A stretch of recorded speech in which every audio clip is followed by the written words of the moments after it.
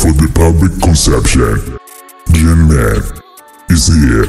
Siku jana kuna hii video ambayo ilisambaa kwenye vyanzo tofauti tofauti vya kihabari kwa nchini Nigeria na hata kwa nchini Tanzania ikimwonyesha msanii Burna Boy akifanya rehearsal kujiandaa na tour yake ambayo inaanza rasmi mwezi huu I told them tour. Sasa rehearsal ambayo alikuwa akifanya yani alikuwa na imba huku anavuta vitu ambavyo ni tofauti na hali ya hewa, lakini sasa kwenye freestyle ambayo alikuwa kimba akasikika akisema hivi lichokuwa ni pijini za Kinigeria, lakini sasa zimekuwa translated kuweza kumfanya kila mtu kuweza kufahamu ama kujua kile ambacho alikuwa kikizungumzia na kufanya kuwa topic kwa mashabiki.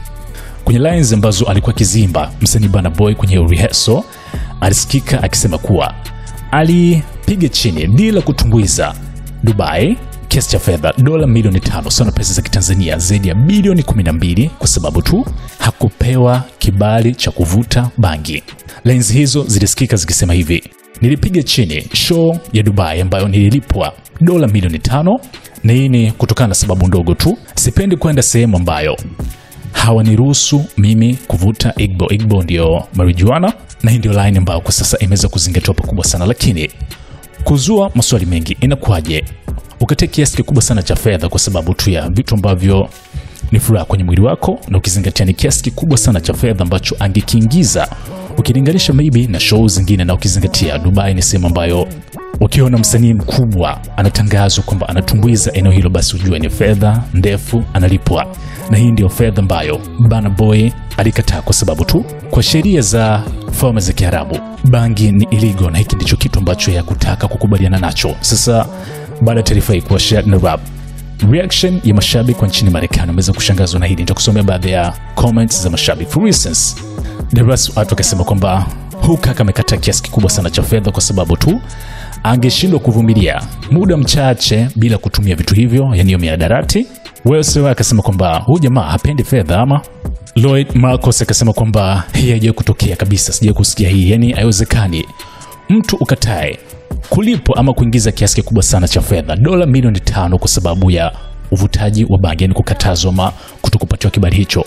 Rick akasema kwamba hu brother yupo addicted na matumizi ya bangi. TK3N1 akasema kwamba huyu jamaa alipaswa kukaa upande wa biashara zaidi, yani angezingatia biashara kuliko hiki ambacho amekipa nafasi.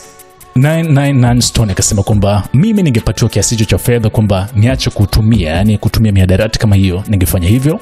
Francis Mose akakama na mind, haiwezekani kuwa addicted na matumizi ya vitu ambavyo ni tofauti na hali ya hewa mpaka kutokuweka mbele pesa tena kiasi kikubwa kama hiki. Jaonje akasema kwamba huyu jamaa amepishana na kiasi kikubwa sana cha fedha, na hii ni kutokana tu na kuwa ameshindwa kuvumilia muda mchache ambao angekuwa huko kwa kutumbuiza na kupata kiasi hicho. So hizi ni baadhi ya comments chache za mashabiki kutokea nchini Marekani ambao wameweza kuguswa na taarifa hii, na ukizingatia Burna Boy ni msanii mkubwa kwa sasa ulimwenguni, na hiki ni kiasi kikubwa sana cha fedha ambacho angekiingiza, lakini tu kwa sababu moja, kwa sababu hakupatiwa kibali cha kutumia ama kuvuta bangi Dubai, akaamua kupiga chini show hii. Ed Sheeran aliwahi kuweka wazi kuwa kwenye session ambayo walijumuika kwa pamoja kuitayarisha single ya For My Hand, anasema kuwa muda wote ambao walikuwa pamoja, Burna Boy siku nzima alikuwa akivuta bangi na anaweza kumtemea kuwa ndiye msanii ambaye amewahi kukutana naye kwenye maisha yake ambaye anatumia vitu hivyo kwa wingi. Hapa ni SNS Manager. Attention! Your potential customers are watching this video. Don't miss out on the opportunity to reach them.